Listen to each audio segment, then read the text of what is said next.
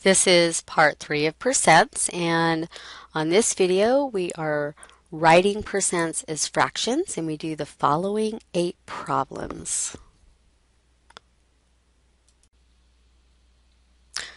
This is part three of percents and in this video we're going to learn how to write percents as fractions. In the first video we talked about the meaning percent. Remember percent means divide by a hundred. So you can replace the percent sign with divide by 100. And in part two, we wrote percents as decimals. So we're moving on, writing percents as fractions. So let's try a problem. Let's say we've got 8%, and we want to write it as a fraction. So if we want to use this idea that percent can be replaced with divide by 100, then this will be the same thing as 8 divided by 100, which we could write as a fraction 8 over 100. And now we all we need to do is reduce the fraction. So you could divide the top and bottom by 4, the numerator and denominator by 4, and that gives you 2 25ths. Okay, wonder if there's a little bit faster way we could do this. Well, 8% means 8 divided by 100. If you want, you can simply just write 8 over 100 to begin with. And then, of course, it'll still reduce to 2 25ths. So you might think about this. If you're trying to write it as a fraction, go ahead and write a fraction. So let's try a couple problems like that. So here are four problems for you to try. Put the video on pause and write each of these fractions as a percent and reduce if possible. Okay, so let's try this. All right, 9%. Remember, we're trying to write it as a fraction, so we could simply write it over 100. That means 9 divided by 100, and that can't be reduced, so that's the answer. Next one, 22%. That'll be 22 over 100. And that we can reduce. We could divide the numerator and denominator by 2, so that's 11 fiftieths. 35% means 35 divided by 100, so 35 over 100.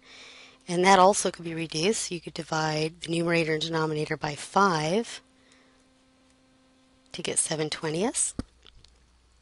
And the last one, 400%, that's 400 divided by 100.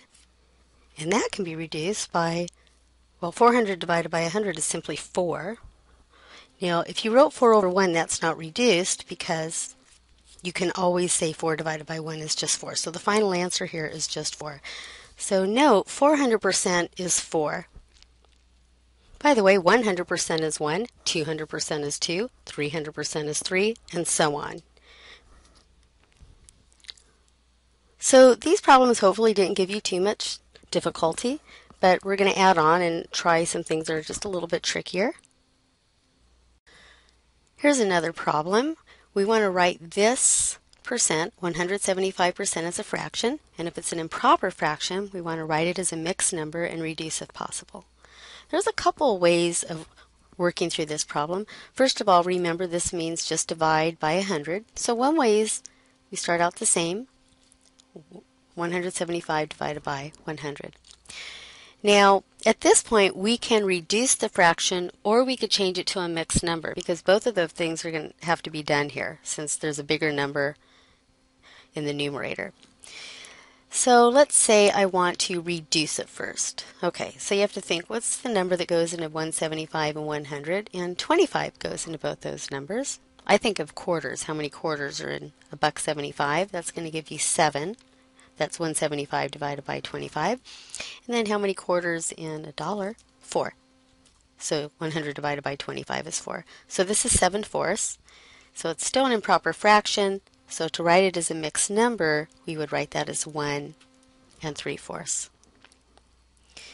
Now, that's not the only way you could have done this. You could have started off the same way, 175 over 100, and you could have first changed it to a mixed number.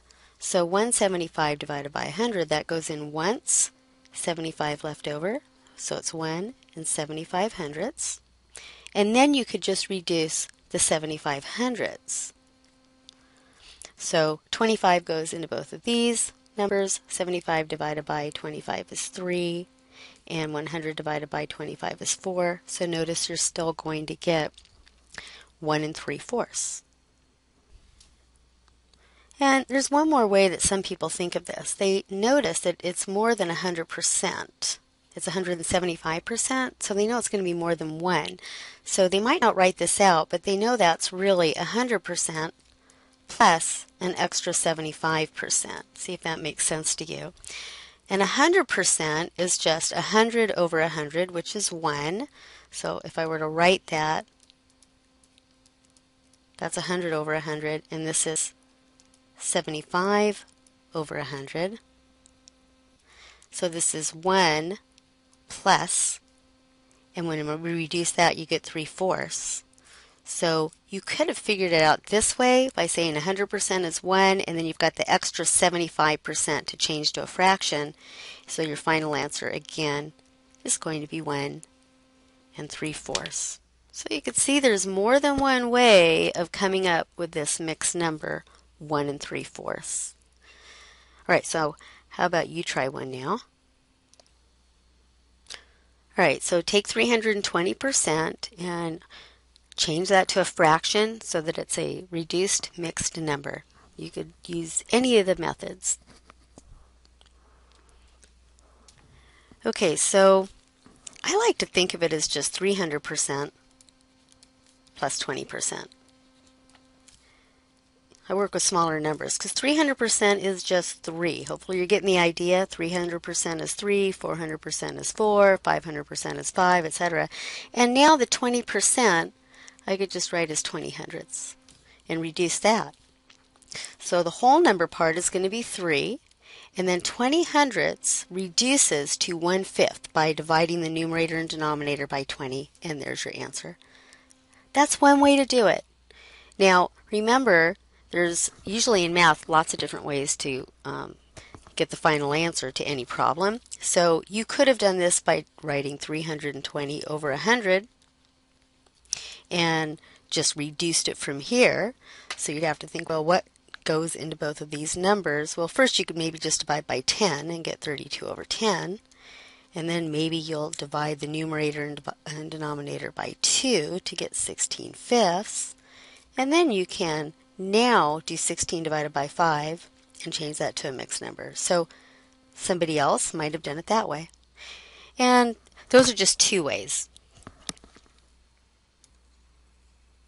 The third way is to start off the same way, this 320 over 100, and then change that to a mixed number. 320 divided by 100 is going to be 3 and 20 hundredths, and then just reduce the fraction again and get 3 and 1 fifth. So personally, I like the first method.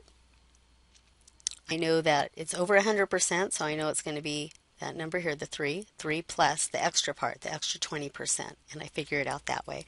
But these work just as well. Everybody has their own preference. Whatever way looks easiest to you, you should use. All right, let's see if you could do this one. You want to write 1,713% as a fraction, and in this case, as a mixed number with a fraction reduced. Okay, again, more than 100%, right? So I see 1700% plus an extra 13%.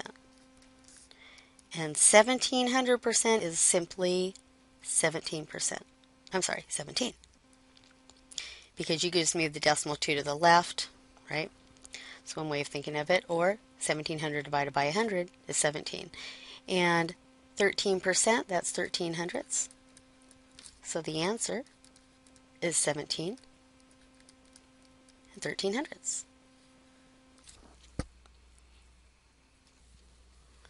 There is one more snag that you might come up with, and that is rewriting something of this form, something like 5 and 1 third percent. How would we change that to a fraction?